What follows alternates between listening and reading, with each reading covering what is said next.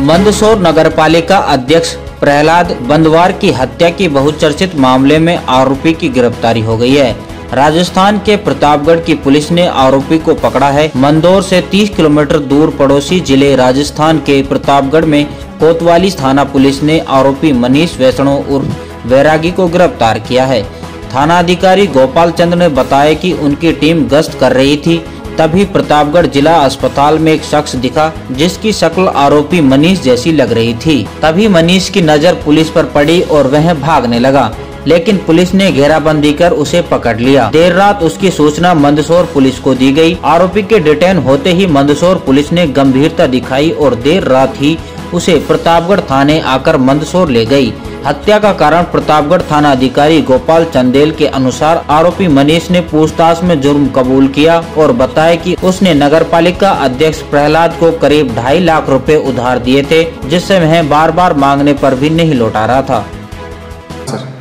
हाल ही मंदसौर चेयरमैन प्रहलाद उर्फ़ दादा की जो हत्या की गई थी उसका मुख्य आरोपी मनीष वेरागी कल रात को हमारे गश्ती दल के गश्त के दौरान जनरल हॉस्पिटल के बाहर दिखाई दिया। चूँकि उसका फ़ोटो जो था पहले व्हाट्सएप पे वायरल हो रहा था तो उसी वायरल के जो हुए फ़ोटो को देखते हुए गश्ती दल ने उसको पहचाना और पहचान के थाने पर इतला दी। तो यहाँ से हमने थाने की एक मोबाइल भिजवाई। गाड़ी को देख के और मनीष भागने लगा तो पुलिस ने उसको घेरा डाल के और पकड़ा और पकड़ के थाने पर लाके पूछताछ करी। पूछताछ पर उसने बताया कि मैं वही मनीष वैरागी हूँ, जिसने मंदसौर नगर पालिका के चेयरमैन प्रहलाद बंधवार की गोली मार के हत्या की थी, जिसको हमने डिटेन किया और डिटेन करके उच्चाधिकारियों के निर्देशानुसार मंदसौर पुलिस को सूचित किया।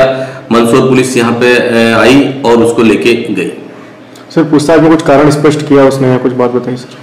बस पूछताछ में उसने सामान्यतः कोई एक घूमटी का मैटर बता रहा था। मेरी जो घूमटी लगी हुई थी, उसके पास एक घूमटी और किसी, उसने प्रहलाद बंधवार ने लगवा दी। और दूसरा कोई पैसे की दो ढाई लाख रुपए माँगता की बात भी बता रहा था, जो मैंने उसको दिए थे, जो अभी तक उसने वापस नहीं दिए। और मेरी माँ की मृत्यु हुई तब भी मैंने पैसे मांगे, फिर भी नहीं दिए। इसी बात रंजिश के जो है, प्रथम दृष्टि यही सामने आया इसी बात को लेकर उसने जो गोली मार के हत्या की है।